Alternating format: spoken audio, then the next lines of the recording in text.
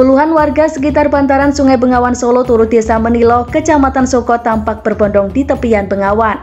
Rupanya banyak dari mereka berkumpul untuk melihat langsung proses pencarian warga setempat yang diduga hanyut dan tenggelam di sungai terpanjang di Pulau Jawa itu.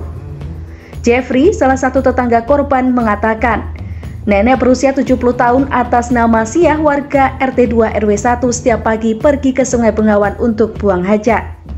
Kejadian yang diperkirakan pada pukul 7 pagi waktu Indonesia Barat tak disangka oleh semua orang. Termasuk juga tetangga korban Bukairum 55 tahun yang melihat pertama kali sepasang sendal korban di tepi Bengawan.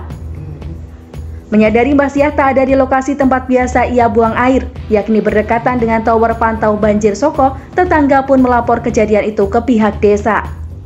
Dari koordinasi pihak desa, pihak pemerintah Kecamatan Soko melalui Kasih Trantip, juga anggota TNI dari Koramil Soko dan polisi dari Polsek Soko bergegas menuju lokasi.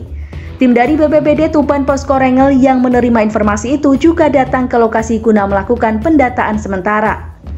Didi, anggota BPBD Tuban Posko Rengel menjelaskan, pihaknya masih koordinasi dengan pimpinan serta pihak terkait untuk penanganan lanjutan. Warga dan pengguna jalan pun ikut nimbrung di lokasi dekat pengawan tempat nenek 70 tahun diduga terpleset dan hanyut.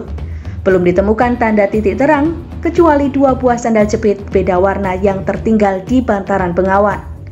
Dari Tuban, Tim Liputan Blok Tuban TV mengabarkan.